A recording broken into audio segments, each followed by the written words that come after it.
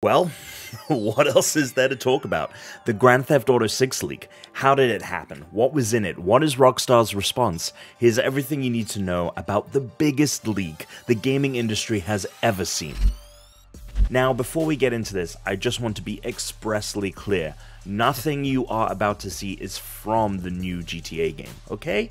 Rockstar's legal team, if you're listening, and I've heard they're big fans of this show, we're not showing any screenshots, any gameplay, nothing, nada, zip, zilch. Got it? Okay, good. Here we go. So, how did the leak happen? On Sunday, September 20th, a user that goes by the name of Teapot Tuber Hacker posted on GTAforums.com over 90 clips of in-development footage of the game. They claimed that the clips were taken from Rockstar's internal Slack, which also allowed them to get their hands on source code for the game. The hacker updated their post later that day, directing any employees of Rockstar or Take-Two Interactive to contact them via email, as they were, quote, looking to negotiate a deal.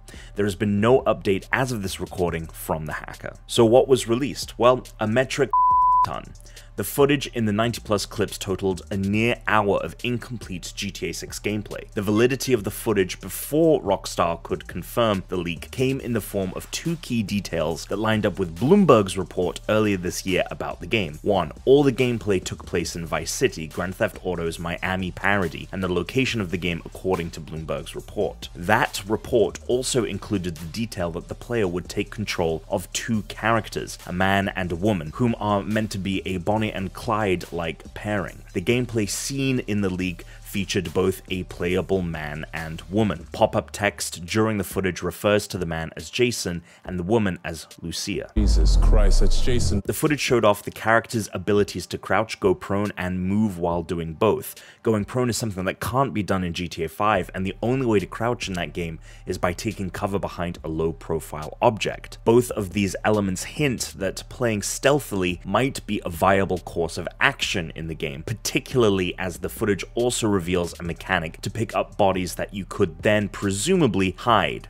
Lucia is seen carrying a duffel bag with a number of inventory slots, as well as there being animations for picking up weapons, which are displayed as being strapped to the characters' bodies when not carried in their hands. These elements hint toward GTA 6 getting a similar inventory system to Red Dead Redemption 2, where players will be limited by what they can carry and will have to pick and choose which weapons to take with them. Also similar to RDR2 are the contextual menus while targeting NPCs. In that game, locking onto an NPC offered several options, such as greeting them or robbing them. In the leaked GTA 6 footage, options to rob, restrain, melee, and surrender are shown. Speaking of NPCs, one of the clips features a conversation between two of them, commenting on events from GTA 5, so that almost guarantees this game takes place either during or after the current release. Hovercrafts are shown off, vehicles that haven't been present in the series since GTA San Andreas, and according to video game insider Tom Henderson from a now deleted tweet, thousands of lines of the source code make mention of jetpacks. And finally, the game seems to feature a parody of the popular WhatsApp messaging service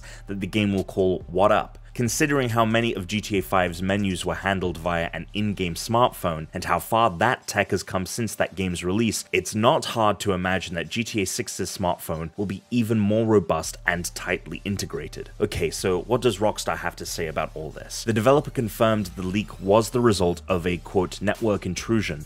It also made the reassuring comment that it does not anticipate any disruption to the development of the game a major concern many had when the leak happened over the weekend. Rockstar capped the message off by stating that it would show off the game when it is ready to be shown off. And that's it. Everything you need to know about the GTA 6 leak. What do you think of some of the mechanics we mentioned today? Let us know in the comments below, and we'll see you here tomorrow for more GameSpot news.